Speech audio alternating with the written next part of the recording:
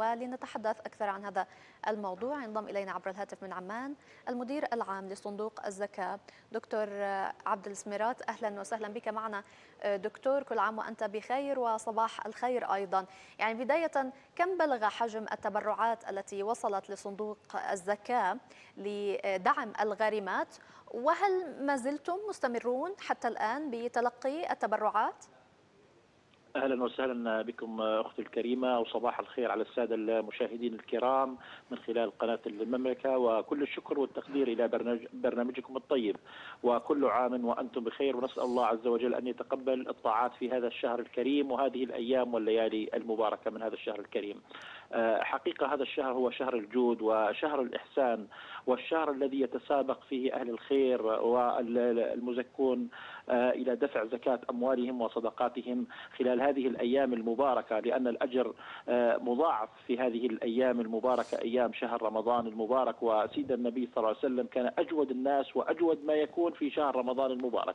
حقيقة السؤال الذي سالتي أختي الكريمة عن الغارمات. هناك حساب خاص في صندوق الزكاة لحساب الغارمات في البنوك الإسلامية وداخل صندوق الزكاة لمن أراد أن يودع زكاة ماله في هذا الحساب. وهناك برامج أخرى أيضا من مساعدات شهرية وبرامج تاهيليه وأيتام والى آخره. هذا الحساب حقيقة يعني نحن وصلنا في هذا اليوم المبارك إلى حوالي 7500 غارمة تم إطلاق سراحهن من خلال هذا الحساب سواء كانوا بالسجون أو محكومات بأحكام قطعية ومعمم عليهن. حقيقة أختي الكريمة هذا كم بلغ حجم التبرعات؟ حقيقة وصل حجم التبرعات ما يقارب الأربعة مليون ومئتين ألف دينار لغاية هذه الأيام منذ فتح هذا الحساب. يعني عندما نتكلم عن سبع آلاف وخمسمائة غارمة بمبلغ أربعة مليون ومئتين ألف دينار يعني لهذه المؤسسة مؤسسة صندوق الزكاة التي نعتز ونفتخر فيها الجهة الحماية الإنسانية لهذه البرامج التي تصل إلى الفقير أيا كان داخل المملكة الأردنية الهاشمية نعم. حقيقة أختي الكريمة منذ اليوم الأول عمل صندوق الزكاة وحقيقة لصندوق الزكاة مجلس إدارة من سادة أكفاء علماء قاموا بالمصادقة على دفعة كبيرة من الغارمات منذ اليوم الأول لشهر رمضان المبارك لزرع الفرحة والابتسامة على هؤلاء النساء وعلى وجوه الأطفال خلال الأيام نعم. الأولى من شهر رمضان المبارك فتم إطلاق سراح حوالي 800 غارمة تقريبا خلال هذه الأيام المباركة من هذا الشهر نعم الفضل. هذا فقط خلال شهر رمضان المبارك ولكن لو تحدثنا معني عن بداية العام يعني من بداية العام لغاية اليوم كم بلغ عدد الغارمات اللواتي أطلق سراحهن من السجون؟ نعم عندما نتكلم من بداية العام لهذا اليوم حوالي ألف غارمة تقريبا حوالي ألف يعني نعم. نحن آه الآن السجون نتواصل مباشرة مع مراكز الإصلاح والتأهيل ودوائر التنفيذ القضائي آه نتحدث عن أنه لا يوجد آه داخل السجون أي غارمة آه أو مدينة مسجونة دون الألفين دينار لأنه وضعنا دكتور أحمد 2000 نعم أه. يعني لو بالحديث عن هذه المبالغ يعني على ما يبدو بأن هناك أيضا شروط يجب أن تتوفر في قضية هذه الغارمة حتى يستطيع الصندوق بالسداد عنها. لو تحدثنا أكثر عن هذه الشروط. نعم أختي الكريمة شكرا لهذا السؤال من خلال قناة الحقيقة. أريد أن أبين للسادة المشاهدين نحن قناة المملكة دكتور. قناة المملكة عفوا قناة المملكة.